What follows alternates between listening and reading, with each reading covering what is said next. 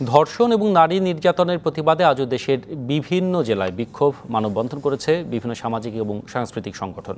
সকালে নরসিংদী প্রেস ক্লাবের সামনে মানববন্ধন করে সম্মিলিত সামাজিক আন্দোলন।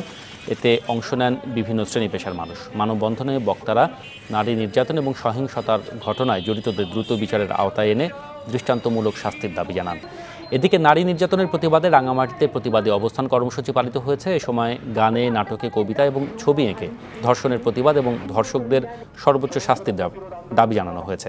অন্যদিকে ধর্ষকের বিরুদ্ধে সর্বস্তরে প্রতিরোধ গড়ে তোলার আহ্বান জানিয়ে গায়ে বান্ধায় মানববন্ধন এবং সমাবেশ করেছে জাতীয় নারী জোট। কর্মসূচিতে ধর্ষণের জড়িতদের দ্রুত বিচার করে সর্বোচ্চ শাস্তির দাবি জানান বক্তারা।